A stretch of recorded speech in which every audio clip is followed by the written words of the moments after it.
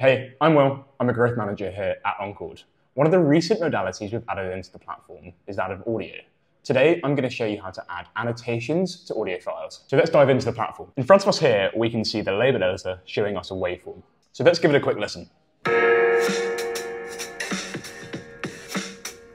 So I've been tasked with adding temporal classifications to different areas of the waveform, depending upon what instrument is being played. So let's start off with the kick drum.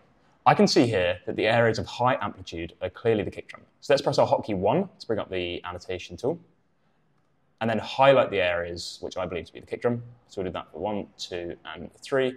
We'll then press M to save. I also want to do this for cymbals. Now, from watching and listening to the waveform, I can see that it's these areas of slightly lower amplitude, which are clearly the cymbals. So we'll do the same again. Two and three. Now we'll press M to save. But say I might have annotated some of these areas slightly inaccurately. I want to go and edit them. So I'll press the edit button here. And we can go in and either move where the classifications are or shorten them or lengthen them. So I'm just going to shorten this one a bit and then press save. And now you can see here all the classifications we've done with the relevant timestamp attached. If you want to learn more about Encord's multimodal functionality, head to encord.com forward slash multimodal.